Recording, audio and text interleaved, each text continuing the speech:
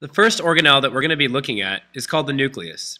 The nucleus acts as kind of like the control center for the cell, dictating what the cell should do and when. It is the largest organelle in the cell. The nucleus. What is the nucleus? The nucleus is an organelle that is in all eukaryotes. It contains all the DNA. Nucleus is a large structure that if it was to be popped open, all of the cell's DNA would be stringing out.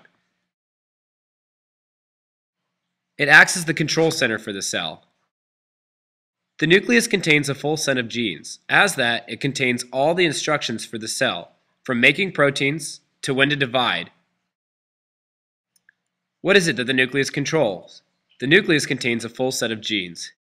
Since the nucleus contains a full set of genes, it is able to act as an independent body, creating proteins and other such materials. Every cell is its own unique thing because of the nucleus.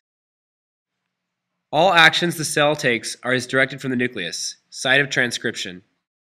Transcription is when DNA is turned into mRNA as instructions for proteins.